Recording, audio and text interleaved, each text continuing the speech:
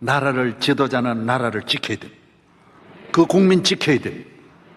자기가 죽어서 국민을 지키는 지도자가 다윗과 같이 죽으면 그 사람이 영웅 되는 것입니다.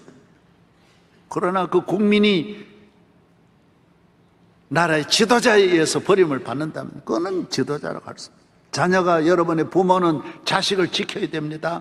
아내를 지켜야 됩니다. 누구나 와서 아내를 다 건들고 가도록 버려두면 그건 남편 자격이 없습니다. 누구나 와서 내 자식을 폭행하고 때리고 빼앗아 가도 가만히 두면 그건 부모 자격이 없습니다.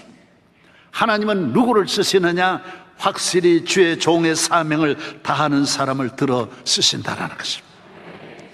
여러분, 여러분의 가정을 지키십니까? 교회는 여러분이 지켜야 되는 거예요.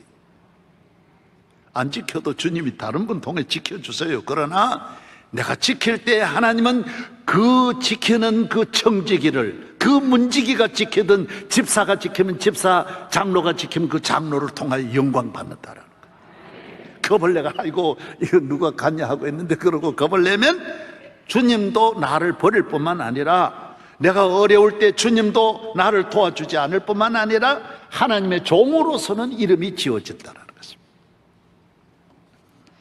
총회장은 왜 세웠느냐? 총회를 지키려고 사무실 지키고 관리하라고 회의하라고 지킨 게 아니에요. 세운 게 아니에요. 그 교단 아래에 있는 교회를 지키라고 총회장 세운 거예요.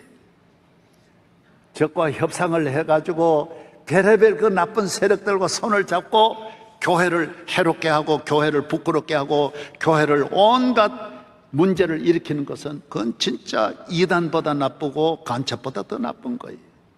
그건 총회장에는 할 수 없는 거예요.